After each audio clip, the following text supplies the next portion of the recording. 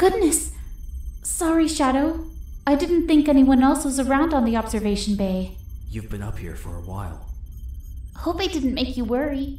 I just like to come up here when I feel a bit lost in my own thoughts. Hmm, I know. It really is beautiful, isn't it? The Ark can sometimes feel pretty overwhelming, but this sector is always nice and empty. Not to mention the fact that it has an incredible view of the surface. It's one of the best features of the entire station, if you ask me. Earth. What exactly is it like down there? Oh? I didn't take it that you were all that interested, Shadow. You never really seemed to pay attention during tutoring. Any reason for the change of heart? I just notice you staring out at it more and more these days. It must be very important to you.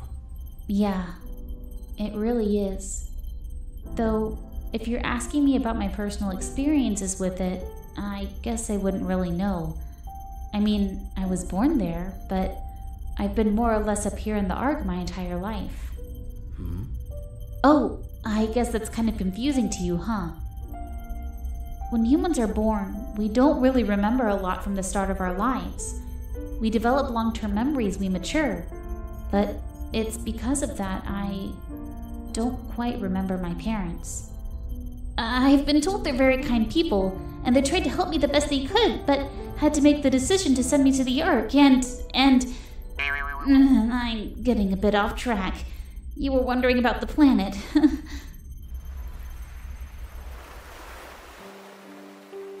I have a firm belief that it's a wonderful place filled with wonderful people. The staff here are just like me. They're from Earth too, and from their experiences, they tell me amazing things. Remember my textbooks? All those grassy fields and bodies of water that I read to you about? They're all there, Shadow.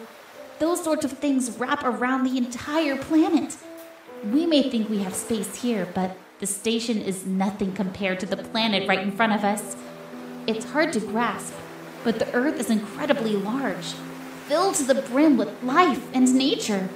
We may see the same people we know every day here at the station, but on Earth, we can see streets, crowds of people every time we step foot outside, all of which are unique human beings we've never met before, all working towards their own unique dreams and lives.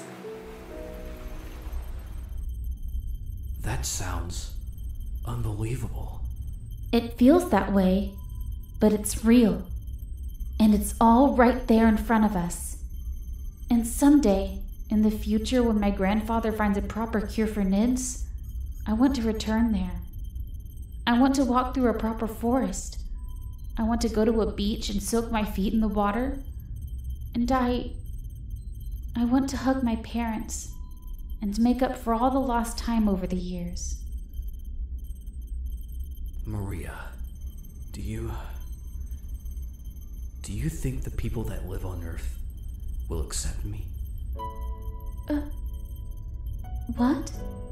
Your comment about human memory, what you said earlier. I'm different. I've never had an issue remembering anything from the moment of my creation. I remember you, Dr. Gerald, and that's because I'm not like everyone else. I was born in a tube, a machine. And if I'm being honest, I know I'm different. I see it in the mirror plain as day. I'm not like you or anyone else.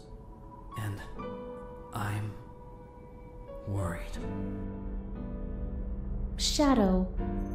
Different has never meant bad by any stretch. That's what's so great about Earth. There may be many shared experiences out there, but every person is just as varied and unique as the next. Me and my grandfather may share a species, but we couldn't be more distinct from one another. And you are the same. Our differences are what make us exceptional. They're what make us us. And there's nothing I'd rather you be than what you are.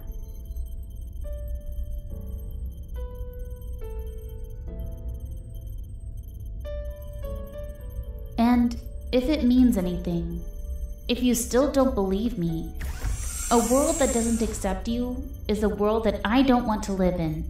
Never mind what I may have heard about it. Maria, I'm. I'm sorry that you don't have any memories of your parents, but I'm glad that I'll always have memories that I share with someone like you.